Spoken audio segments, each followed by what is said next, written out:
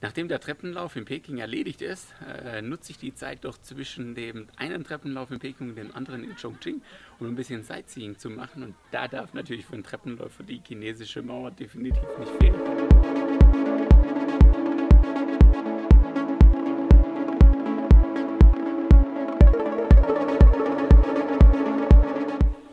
Chinesische Mauer müsste, glaube ich, eigentlich eher chinesische Treppe heißen, weil die hat hier so viele Stufen.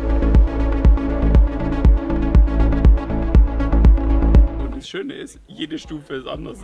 Absätze mit so einer Höhe drauf, da kommt man hier richtig ins Schwitzen. Wenn ich mir vorstelle, so eine chinesische Mauer bei uns im Schwarzwald zu haben, das wäre wirklich fulminant.